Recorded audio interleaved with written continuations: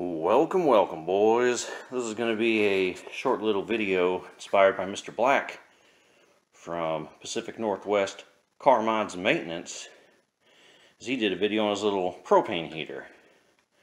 And I have this here Craftsman Torpedo jet engine kerosene heater guy.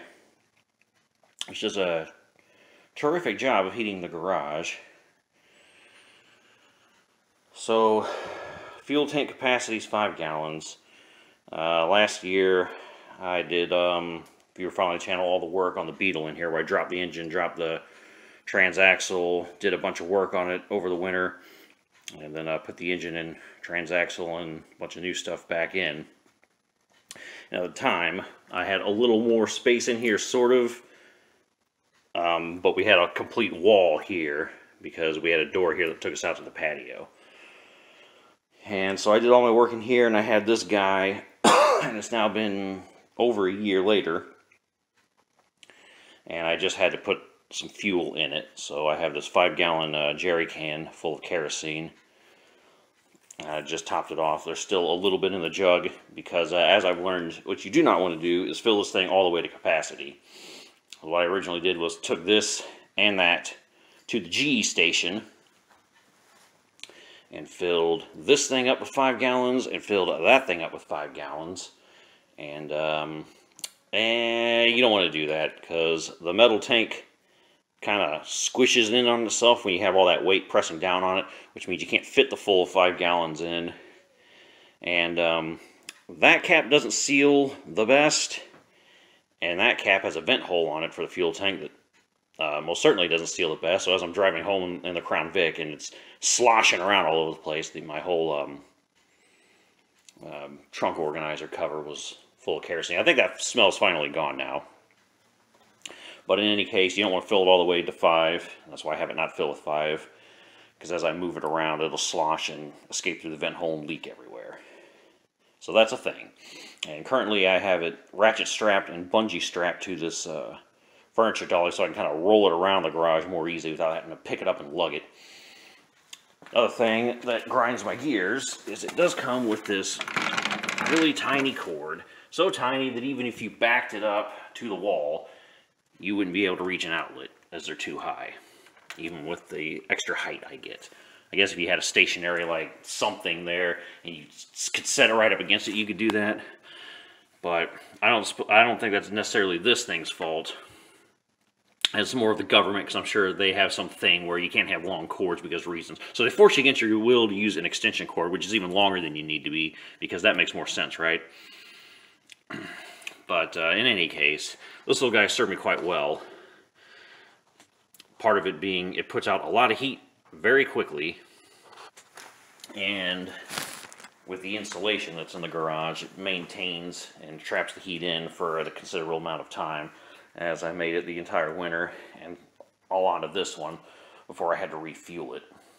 I probably still had a little more in the tank, but we were getting close to E and I wasn't making too much of a sloshy noise when moving it around. Uh, all week it's been in the negatives. Well, not all week, last few days. Today I think it's single digits, and in the garage it's like uh, less than 30 degrees. We'll say that's maybe 25-ish. So that's the uh, temperature between the heat leaving the actual house, coming in here, and then trying to make its way out to the outside eventually. So that's what we've got going on here.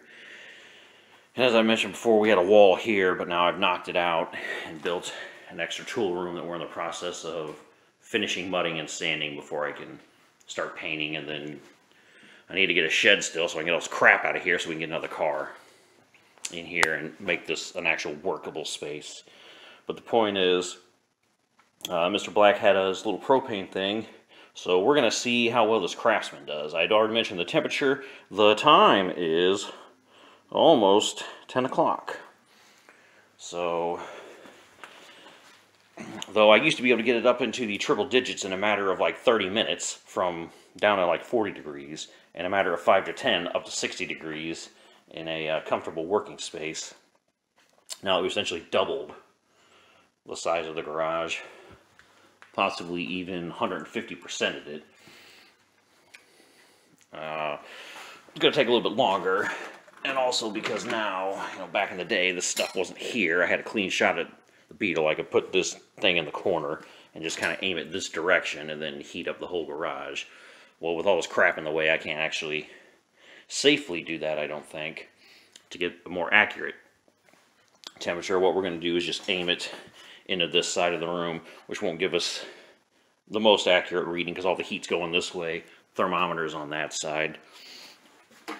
But I've been mudding and sanding and fixing this room for a while now. And I only I spend most of the time on this side, so it does do a pretty good job of heating it up. So how you use this thing is you'll select your temperature over here, and then it can automatically kick off once it reaches the temperature that you set it at. But to fire this thing up, you just simply press on. There's an electric igniter. Fires up.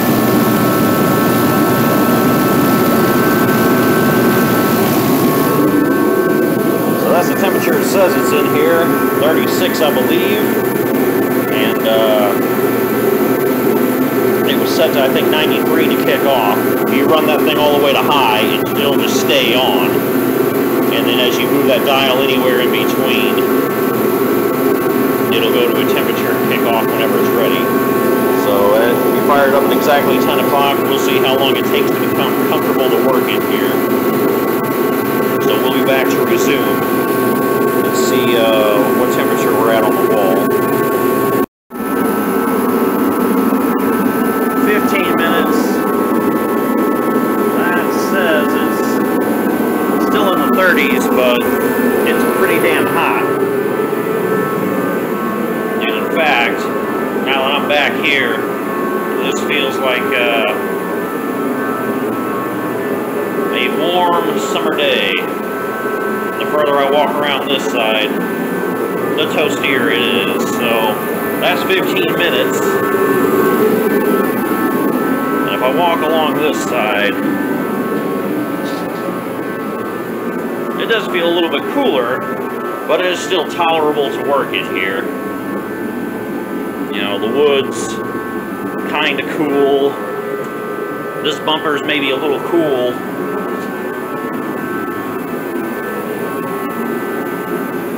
That's not very cool at all.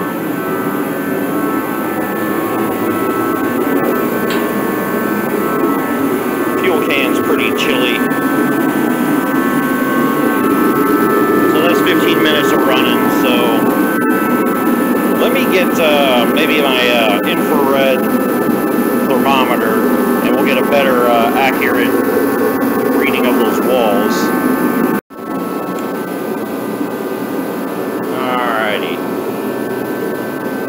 So if we look at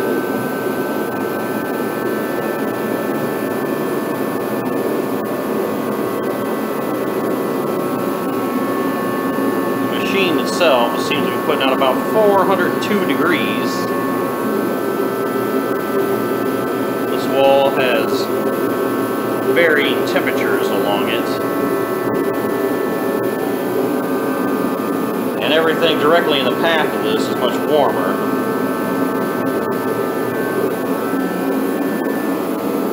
But if we look at the door,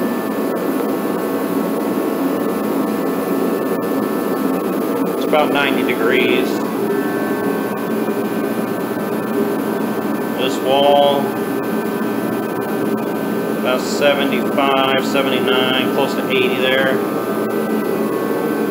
Also like with this machine, I can see exactly where the studs are, so that'll make hanging things quite easy.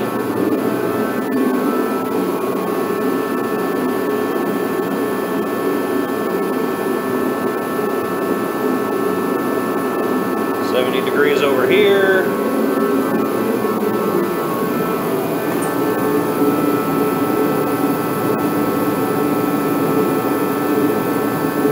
Seventy degrees in the drill press.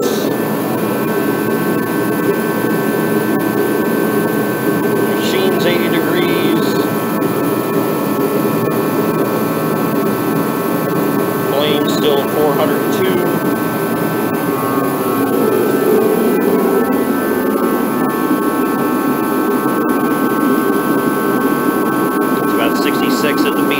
insulated.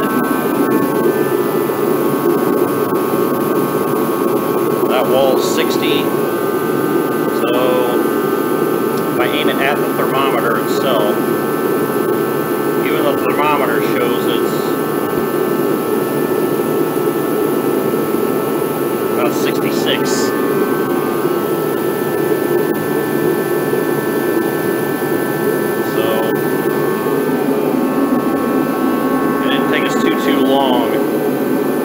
back in here. 60 degrees on the wall. So the average temperature in here on this side of the garage is about 60. And then there we see it's about 80. Well, of course we do have this big piece of plastic shielding it. And uh, the heat has to make its way from in here all the way back here. And we've been in here 20 minutes now, so... Alright, that's a, uh, a brief show of what this little Craftsman torpedo jet engine heater thing can do in just a short time with the garage this big. So it's already too hot to work in here, so I'm going to shut it off. And uh, I think I'll do one more video, which is how long the temperature stays the way it is in a few hours. So you can get an idea of how long it'll keep the area heated. But again, that's going to be more dependent, not so much on how good this heater is, but how well insulated my garage is. So we'll be back for the final clip. Uh, before I shut her down, though, I feel like I should mention, if we look at the sign here, it does say 60 degrees, and as I had mentioned uh, a little bit earlier with this,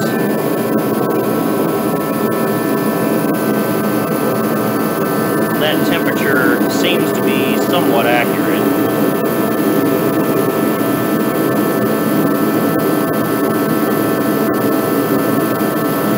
Side of that machine says 67. This box next to it, 70. This wall directly close to it's 80. But if you look just on this side where everything else is, we're at about 60 degrees. So that little uh, thermometer on this thing is fairly accurate, at least for the area that it seems to sit in. Okay boys, final little segment. As you can see, the wall thermometer says it's still 40 something, we'll say 44.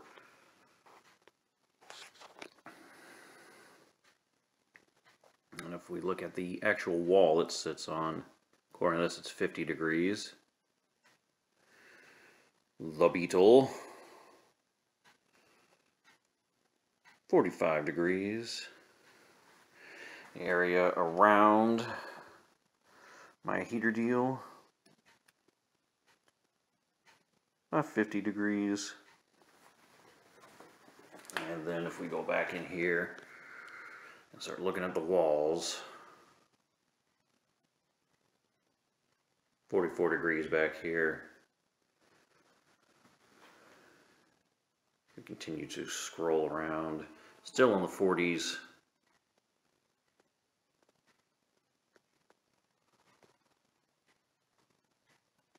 Around 44 up at all areas of the ceiling.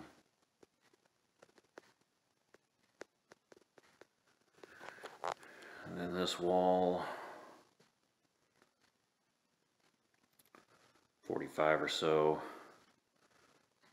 Suspect this one might be a little warmer because the sun's outside hitting that side.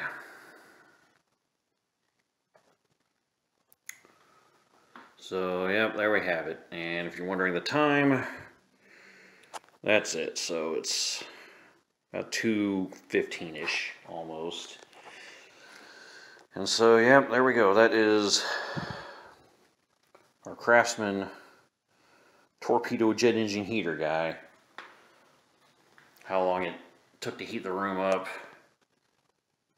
what it was then and what it was this many hours later. So,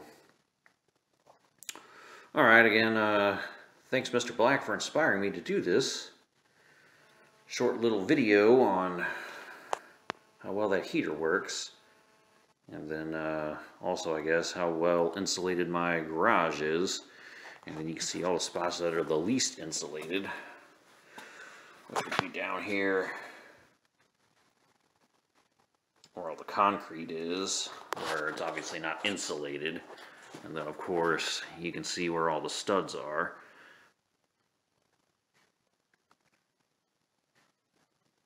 For the same reason, because all the insulated spots will be warmer than everywhere where there are studs and there's no insulation, which is why I'm able to see through the walls and locate them, which will really come in handy after I start painting and then I forget where all my studs are.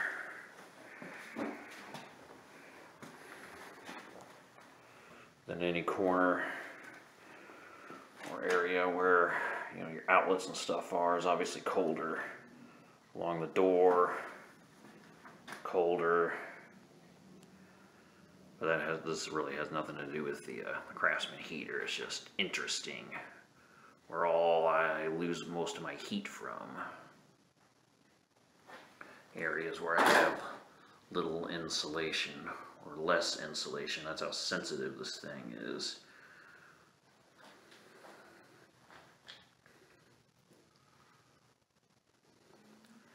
Then the AC unit, you can see a lot of heat leaving through around where it is situated in the wall.